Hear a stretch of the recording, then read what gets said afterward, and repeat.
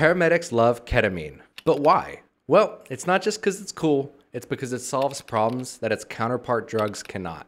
Picture this you're doing medicine in a really tiny box, and this patient is kicking your butt like absolutely kicking your butt. Well, this is where ketamine shines. It's really, really great to give IM to combative patients to help sedate them and make sure that they and you get there safely. Another reason is that it sedates your patients without completely tanking their blood pressure like its counterpart medications Propofol or Versed. Therefore, you can keep your patients nice and calm while still perfusing their vital organs. And that's not all. Ketamine can also help with some pain control. Now, it's not perfect by any means, but if you have a really severe injury, like in cases with crush injuries, a sub-dissociative dose of ketamine can actually help a little bit with that pain control for your patient.